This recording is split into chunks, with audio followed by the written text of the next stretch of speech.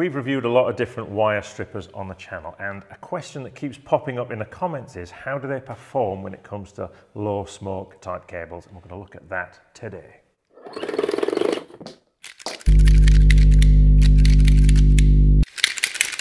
Think that's the nearest we're going to get to the castanets of Spain this year, Gary. That's my uh, interpretation there with some wire strippers. It's difficult to travel at the moment, but I'll tell you what, it is difficult to strip low smoke cables. And we've got the Twinner and CPC or Twin and Earth variety in front of us here. Yes, it is. Yeah, and this, this question does pop up a lot, particularly when we look at this type of stripper here these sort of uh, single action uh, twin and earth strippers, so designed to remove the outer sheath in one operation and then go in for the inner cores. Uh, there are lots of flavours of this stripper around. We did review the ideal one, but uh, if you're using one of the different versions, then yeah, please drop a comment below as to how yours performs on the types of cable we're going to look at today, or in fact, any cable you're using them to, uh, to strip with. So we looked at stripping the cables in front of us here and we put not just that one to the test, we also used the Precistrip that we reviewed on the channel as well for stripping the inner insulation around the conductors, which is slightly different in this style of cable, isn't it? It is, yes. So you've got, uh, yeah, the inner is not PVC, it's, no. uh, it's a XLPE, which is the same uh, conductor material you're used to seeing on, say, a lot of armoured cables as well. So you'll find that can be quite uh, tricky to strip as well, quite stretchy when it comes to, uh, to try to remove that.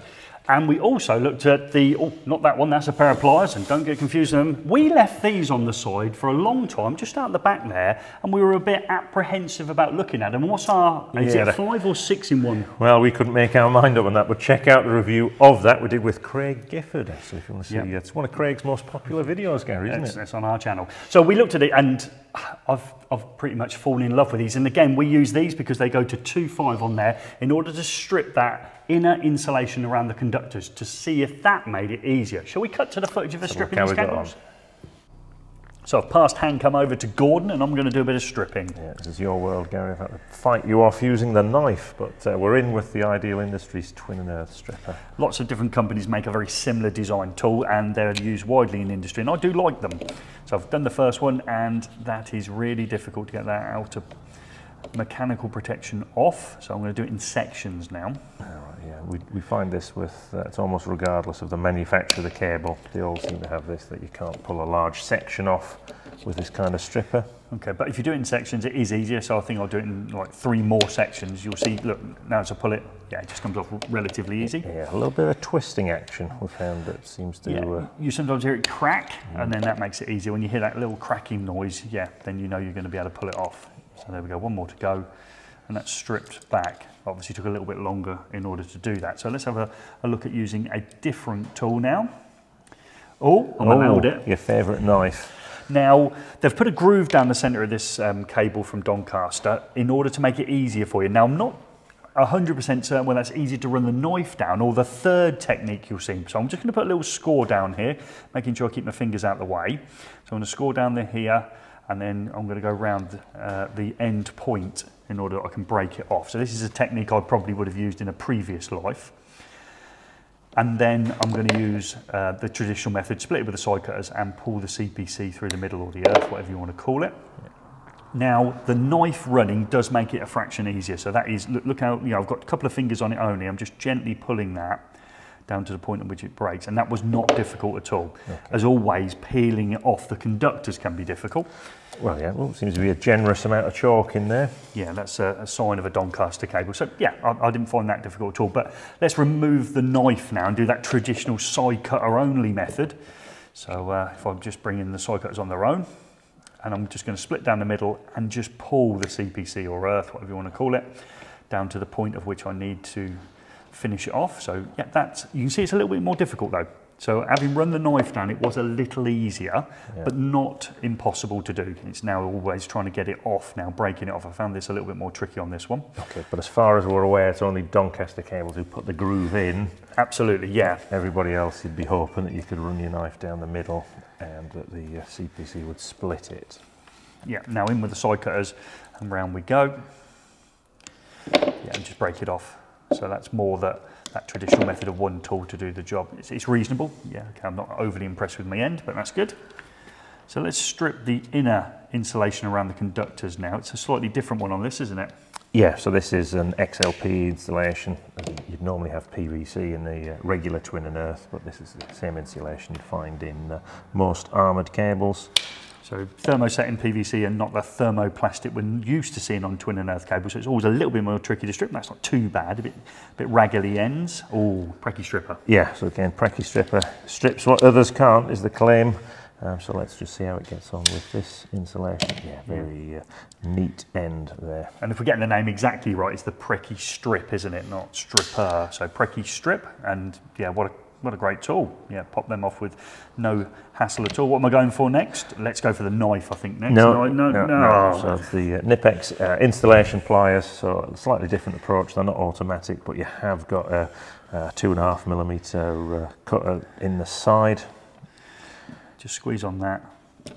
Yeah, popped off. Yeah, again, that's quite a, uh, clean end as well. One. Yeah. Just repeat for the neutral, just to check you didn't fluke it, Gary. There you go. Nah, nothing lucky about that. That was good. So that gives us uh, those three options. Can I have one more option? No, you're not going to let me use it. So next up, let's have a look at what happens when the cable is cold. So put the beer down, Gary.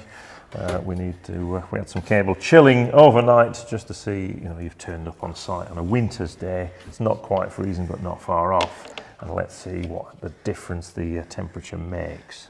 Okay, so straight back in with our Ideal Industries twin and earth strippers at roughly the same length. I'll take a little bit off there as well. Oh, I've uh, decided to cut a few corners. Come on, come on Gaz, you can do it. Can you go any smaller on the sections? yeah. It was a little bit difficult. 10 millimetres? Yeah. Yeah. Uh, I'll just snip that off and forget about that one. So that didn't work. Yeah, so that's, uh, yeah, it really does stiffen up. And we find this with lots of cables, and obviously you'll see on some cables you shouldn't be installing them below zero. Yeah, um, PVC should be installed above zero um, and left in ambient temperature above zero for 24 hours if it was dropped below zero. But this is at what, five degrees, six degrees in a fridge? We're not, not at that temperature. So I've gone back in with that knife down, which actually was the easiest of the, the methods to do it before. That little running down with the knife blade actually made it a lot easier when I pull here. So let's just see, a little bit more effort. You can see in my hands, a little bit more effort than I had when it wasn't cold in order to pop it off. Again, because it is cold, it is a little bit more tricky to get it off. There we go. Yeah, say that's common against most cables, regardless of what they're made of. Yeah. But uh, in this case, uh, yeah, it looks like you couldn't use the ideal strippers unless you're going to do it in 10 millimeter sections. yeah. And then let's have a look at stripping the ends now it's cold. So I'm bringing me ideal industry ones. Not too bad. Yeah, sort of dragged it a little bit, a little scruffy on the ends now. Yeah, but that was, that yeah. was pretty similar to what we had, uh, obviously at room temperature. Snip those off. Let's come back in now with a Preki strip.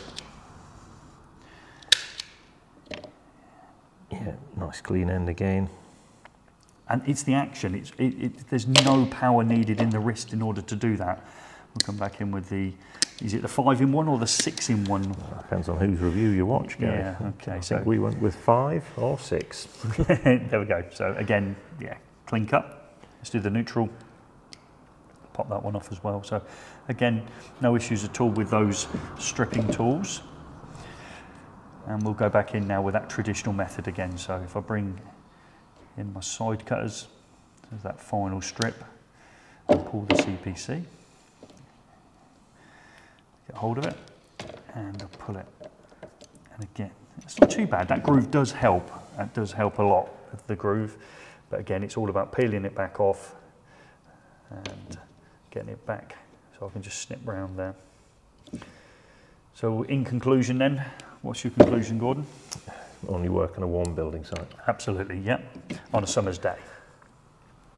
So conclusion then with that one is that it is quite difficult to remove the outer hmm. weight in this case of the cables, but the inner didn't seem to matter really with the temperature, did it? No, no, it didn't uh, didn't alter, but the, the finish did, and, and that's where it's a sort of strange, isn't it? So this managed to make a nice, neat job of well, at least cutting into the sheath. And it's then a case of how many individual sections you need to uh, remove to actually uh, expose enough conductor that you need. Yeah. Um, but it doesn't leave as neat an end when it comes to looking at the conductors. And on some other cables, it sort of uh, yeah went through the insulation a little bit further up than you wanted to strip. Yeah, so you got you got to th- be thinking there. If you're in a, a pretty much normal ambient temperature, we saw how difficult it was in cold to use the twin and earth strippers. You could do it in sections, and you could get it off. Yeah, that's that conclusion. Because we used the cable from Doncaster that had that natural groove in it, we had another two ways in which we could do it. Can we, we could run the knife, or we could pull the CPC, and they've tried to make it easier for you to strip it now, and I think they've succeeded as well, haven't they, in doing that? Yeah, that's probably the easiest way to remove the outer, um, but obviously not everyone's lucky enough to use that cable. It depends what's been uh, yeah, acquired. Yeah, and off camera we have done this with other types of cable as well. So we've done ones without the groove, and the stripping process was pretty much the same universal. So we thought we'd use the Doncaster one because we wanted to expose that groove section to you. When we look, think about removing the insulation around the conductors, I think there was a clear winner. Yeah, I mean, that's, yeah, the, not your knife. Oh, sorry, Get sorry, sorry. Uh, yeah, I mean the Preci stripper that we've looked at before, and it's it's yeah the uh, the saying that goes with it strips what others can't. Yeah. it's it's effortless and it does leave a nice clean uh, neat end to that cable. And I, I think one thing that we, we don't emphasise, or we perhaps haven't emphasised enough, is actually that action there is, is effortless on the wrist, isn't it? There is no strain at all in order to do that. And we even had my daughter using this, didn't she? She only got one hand. If you haven't seen that in a live stream, she did our challenge wall and she used one of these, having never used it before, and she made it look easy using a non-predominant hand only. I think they're fantastic. Yeah, I'll put a link for that Yeah, haven't seen it. I will put a link uh, into into that. But yeah, we do. Uh, we, yeah, we love the stri- Preci stripper. You like those anyway? We've never you've never been able to claw them out of your hand since we, we got hold of them. Um, but it's yeah, there isn't a one. Doesn't seem like there's a one size fits all solution, particularly when it comes to the outer jackets. Yeah.